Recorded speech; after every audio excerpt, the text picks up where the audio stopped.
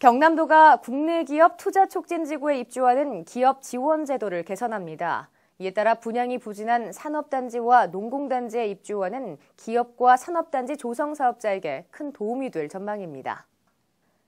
현행 지원 요건인 투자금액 30억 원 이상, 신규 고용 20명 이상에서 투자금액 20억 원 이상, 신규 고용 10명 이상으로 완화할 계획입니다.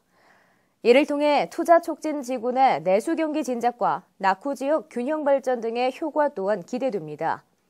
한편 경상남도는 개정안이 시행되면 기업 수 55%, 보조금이 64%가 증액 지원될 것으로 예상하고 투자 촉진 지구에 입주하는 기업에 대한 지원을 해마다 늘려나갈 계획입니다.